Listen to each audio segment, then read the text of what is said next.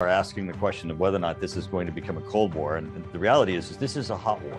I mean, what we're seeing is that uh, Russia, under Putin's leadership, has invaded a validly elected democracy, an independent nation, violating international law. And it's, of course, is a threat to Europe uh, and is a threat to our NATO allies and therefore to the United States. What we know is that he has openly stated that his goal is to reunite uh, the geographical territory of the Soviet Union.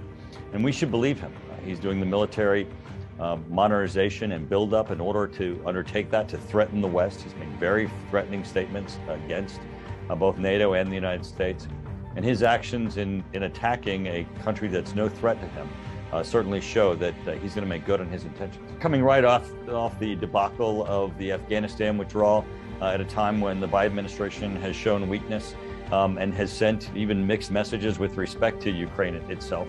Um, I think um, you know, Putin, in looking to the Obama Biden administration when Putin last invaded Ukraine and annexed uh, the Crimea, uh, believes already uh, what he thinks he's going to get out of this administration and sees an opportunity to be able to do this at the least cost. We need to operate from this point forward that, that uh, Putin is standing by his words.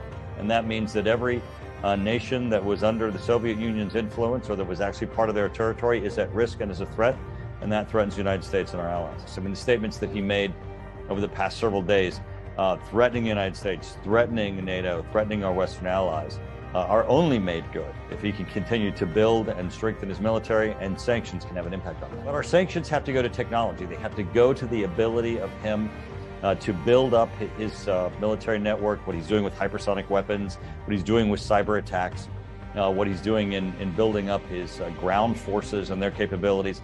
All of this can be impacted because he needs technology from the West to do that.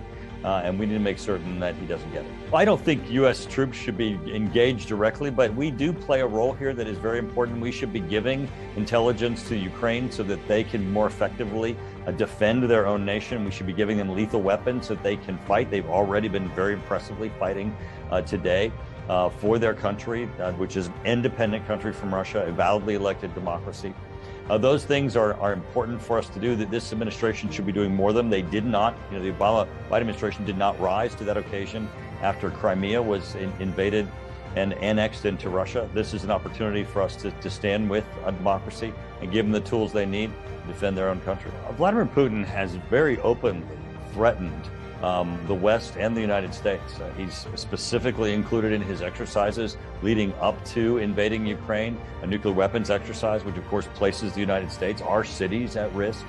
Uh, whenever you have a leader of a, of a nation violating international law and openly threatening the world with weapons of mass destruction, uh, we are entering a very difficult and very dangerous time. This is a time where we need to stand up, show strength, make certain that we put uh, Putin back in his box um, help uh, stop this aggressiveness, and uh, hopefully return the world back to an area where, as you know, the Secretary General of NATO has said, uh, there was peace in Europe.